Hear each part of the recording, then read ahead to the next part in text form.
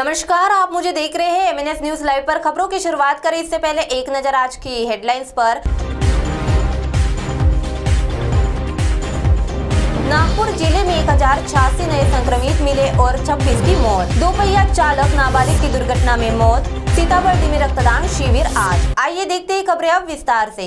नागपुर ज़िले में एक हज़ार छियासी नए संक्रमित मिले और 26 की मौत। शनिवार को शहर में जहाँ 445 नए संक्रमित मिले, वहीं सात की मौत हो गई। जबकि ग्रामीण इलाके में 631 पॉजिटिव मिले और नौ की मौत हो गई।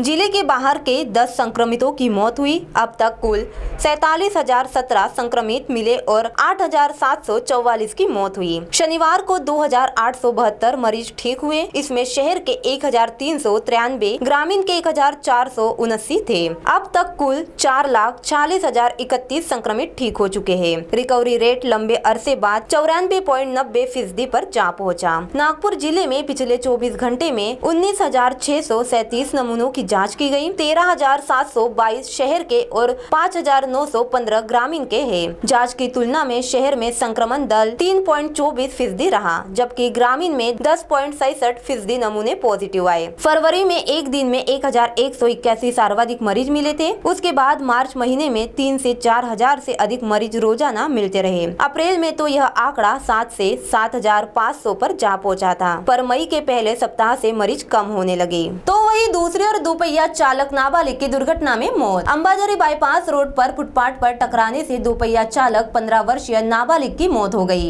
यह घटना शुक्रवार दोपहर बारह बजे हुई। आरोपी जयनगर निवासी प्रवीण बार सिंगे ने नाबालिग को अपनी दो पहिया चलाने के लिए दी थी। नाबालिग दो पहिया चलाते हुए फुटपाथ से टकराकर गिर पड़ा। इस दुर्घटना में गंभीर जख्मी हुए नाबालिग को रविनगर चौक स्थित एक निजी अस्पताल में भर्ती किया गया, जहाँ डॉक्टरों ने जाँच के बाद उसे मृत घोषित कर दिया। फरियादी पिता की शिकायत पर अम्बाजरी पुलिस ने आरोपी के खिलाफ विभिन्न धाराओं के तहत मामला दर्ज किया है। तो वही तीसरे और सीताबर्डी में रक्तदान शिविर आज। पालीवार सेवा मंडल की ओर से 25 मई को रक्तदान शिविर का आयोजन किया गया है। लाइफ लाइन ब्लड बैंक के सहयोग और नागपुर चेंबर ऑफ़ कॉमर्स के संयोजन में सीताबर्डी में जवाहरलाल नेहरू मार्ग स्थित मंडल के कार्यालय में सुबह नौ बजे ऐसी शिविर होगा। इसके लिए अमित पालीवाल, श्री कृष्ण पालीवाल, राधेश्याम पालीवाल ऐसी संपर्क किया जा सकता है।